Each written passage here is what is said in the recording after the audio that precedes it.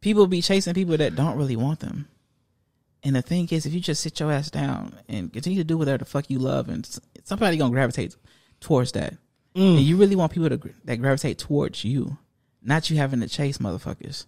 And that goes vice versa with, with men, men and women, because it's like it's a different type of vibe. It's a different type of energy, especially when it's reciprocated. And you can know when you're doing too much because it's a certain feeling that you feel within your soul.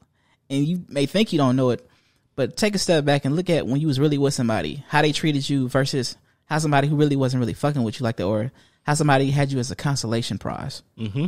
It's a totally different energy, a totally different vibe. Because the thing is, when you with somebody that you really care about, it's reciprocated, and you feel like it's an equal exchange of energy. Yep. Well, you doing too much. You like I text too much, or I do this and I do that. Oftentimes, go with your heart or whatever, or go with your soul, what you feel like doing. But if that person's not a mirror image to what you're doing, you're probably doing too much. Exactly. Because if somebody's really fucking with you like that, that energy is gonna be reciprocated right back to you. And you don't feel fucking tired either. Because you want to mess with them and fuck around with them as much as they want to mess around and fuck around with you. Yep. That same energy you're pouring Yeah. out, they're pouring it right back into you. Yeah. It, it, look, just take a step back. And oftentimes, even if you pull back your energy, you got to see if, if they miss your energy. And if they're not reaching out, they don't miss your energy. The only time they really miss your energy is when they bored or some shit like that. Or you know when they want some. Yeah. You know what I'm saying? Get you they want to hit you up with a quick trip. Quite true. Quick trip.